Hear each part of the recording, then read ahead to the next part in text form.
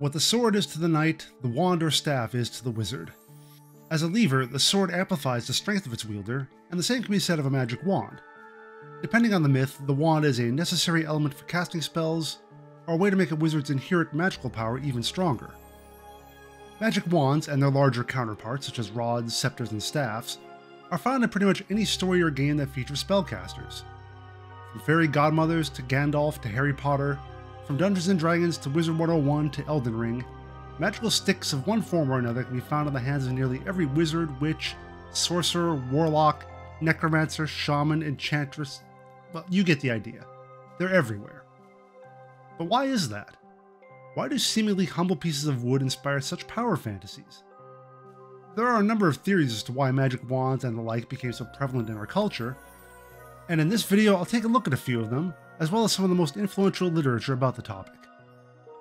And just in case you stumbled upon this video by accident while searching for something else entirely, no, I won't be covering the magic wand sex toy.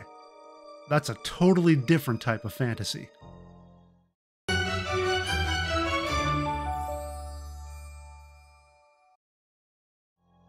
If you've ever seen 2001 A Space Odyssey, you might remember the scene where an ape uses a bone to club another ape to death. Could a scene like this have played out in prehistoric times? It's clear that at some point, one of our ancestors was the first to pick up an item like a bone or a branch and use it to whack something or someone, realizing that it magnified their strength. On some level, could that have been the origin of the myth behind magic wands? A long, hard implement that grants its wielder power? Imagine a swordsman waving his weapon around in an intimidating fashion and making his foes cower from his skillful display.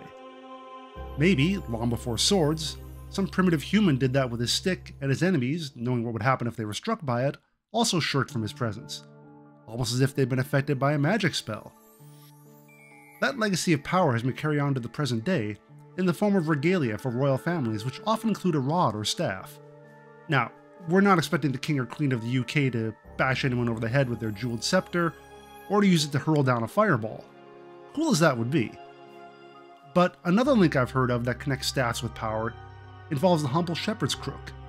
Well, nowadays we think of shepherds as humble, but back in the day, a large herd required a lot of land, and with land came wealth and power, which may have transitioned into some form of rulership. At the very least, the shepherd uses his staff to guide his herd, granting him a kind of lordship or power over them. And maybe because old men tended to be in positions of power, and elderly folk sometimes needed a staff or cane to help them get around, that would have been another way that pieces of wood became associated with power, and one of the reasons we tend to think of wizards as elderly men. Hmm? Oh. Oh, you would not part an old man from his walking stick.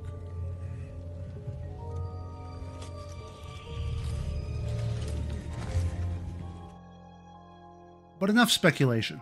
What kind of hard evidence is there to indicate that magic wands have been with us for a while? A cave painting dating back 18,000 years in the caves of Lascaux in France depicts a man lying next to a bison and a bird headed staff. Some speculate that the man is a shaman performing some kind of ritual related to the slain bison or a rhinoceros depicted nearby.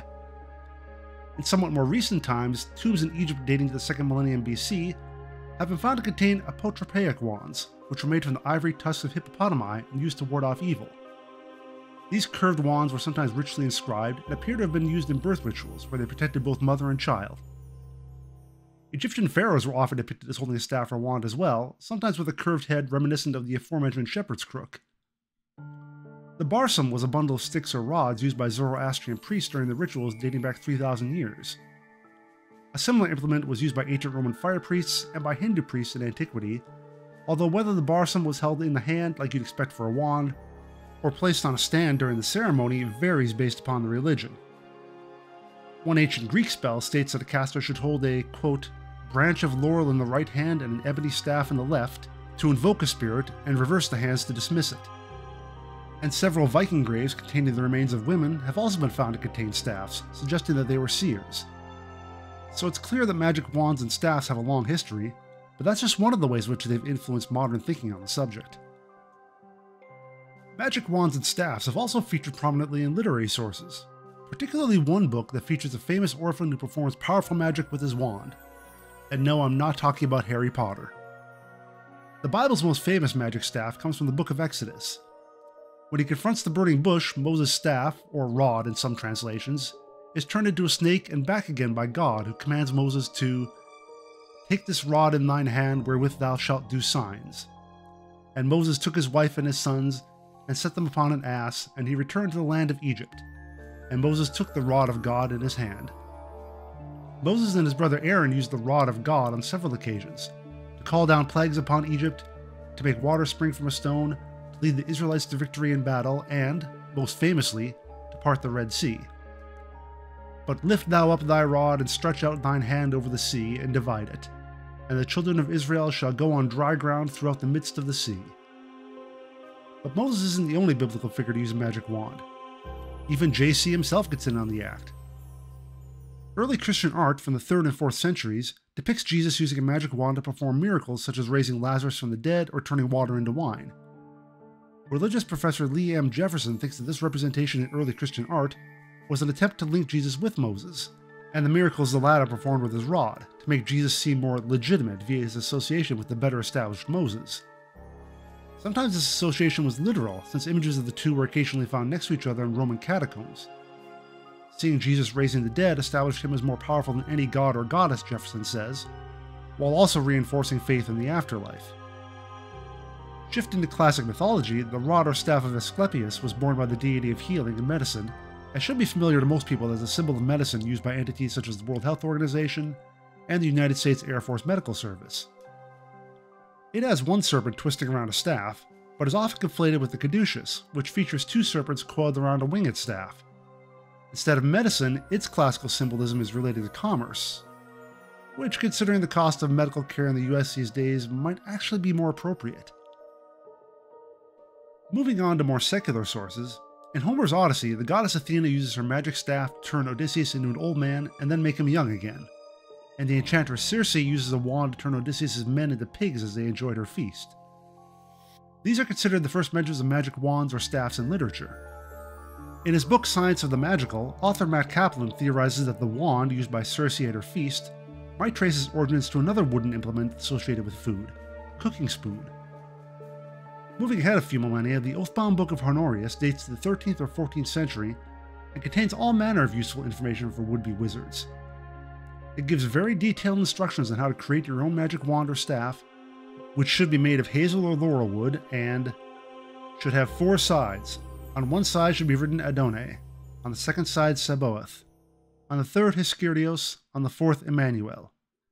On the middle of the wand, make the pentagon figure of Solomon, and where the wand is held, a cross, and thus it will be prepared for sacred and wonderful works.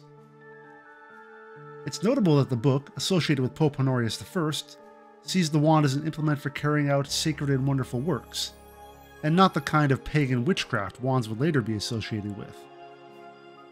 Another medieval manuscript, the Key of Solomon, also gives instructions for creating a wand, recommending hazelwood, while the staff needs to be made from elderwood or cane ash. The wood needs to be cut from the tree in a single stroke on the day of Mercury at sunrise, and again have words carved upon them. Like the instructions for the wand from Honorius, God is again invoked to grant the item its power. An English version of the Key of Solomon inspired Gerald Gardner, called the father of modern witchcraft, though not without controversy, to incorporate the wand into his brand of Wicca. In his Book of Shadows, the wand can be made from any material and is used to summon certain spirits who are afraid of iron and steel. Nowadays, you can find magic wands for sale on Etsy, Amazon, and elsewhere, and their makers probably didn't follow the instructions laid out in any medieval manuscript. After all, they didn't have plastic or mass production back then. Still, whether you believe in wizards or not, these thin, intricately carved sticks have been with us since the dawn of civilization and will continue to influence scholars and writers and game designers for a very long time. Maybe that's a bit of magic on its own. So the next time you see a wizard wave his wand around to cast a spell, Think about the long and storied history of that tool and what got it to the form we think of as familiar and traditional today, and where it will take us in the future. Thank you so much for watching this video. As always, give it a thumbs up if you liked it, and subscribe if you want to see more content exploring the true history of fantasy. Feel free to leave a comment letting me know if there's a topic you'd like me to explore in more detail in a future video, and I'll see you next time.